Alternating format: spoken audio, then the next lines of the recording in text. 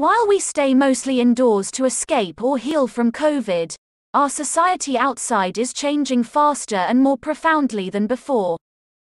There are accelerants inflaming these changes. Trump is one of them, but there are others too. These are sea changes disrupting everything in a huge tidal wave of change. Much like the frog in the kettle of hot water, we don't integrate these changes into our daily thinking. But they include changes in our relationships with friends, family, business associates, strangers, and those who are wearing the power of government. This speaks of a complete reordering of our world. The problem is not so much that our government is failing us.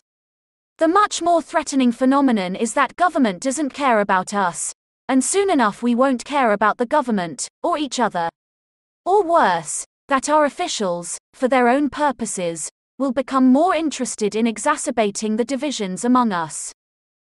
Democracy can save us, but the decline of democracy and the emergence of autocracy leads to injustice and ultimately to a complete, if not intentional, and violent breakdown.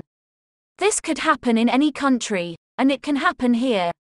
Increasingly, we seem oblivious and unprepared for it. Instead of returning to the old normal, we are entering a time very different than the one we came from. We need to appreciate the personal life experience of living in a more challenging world. To some, it's an interesting intellectual exercise. To others, it's quite terrifying. While personal ruminations on this destructive process may somehow be comforting, the end result could take us to a dark and fearful time. So we must ask ourselves what can we do to deal with the decline that is upon us? That is the greatest challenge of all. We need to realize, like the frog, that we are boiling.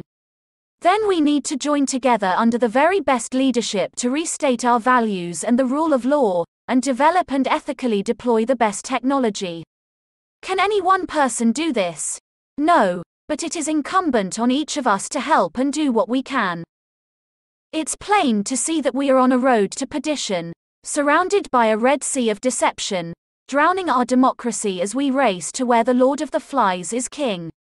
We should rather take the higher road, the road focused on protecting our institutions, our values, and our people. What to do? Be decent and kind. That would be an important countervailing principle in the contention at hand. Only accept what you know to be true. Don't be afraid of speaking the truth to power, and never stand by idly when you see outrage that needs correction. Complacency will destroy us all. Our country is in a state of madness these days, and more and more the inmates are running the asylum. The light at the end of the tunnel seems further away, but hope for happier days is still here. Although, frankly, right now, that unrealized hope may be all we have.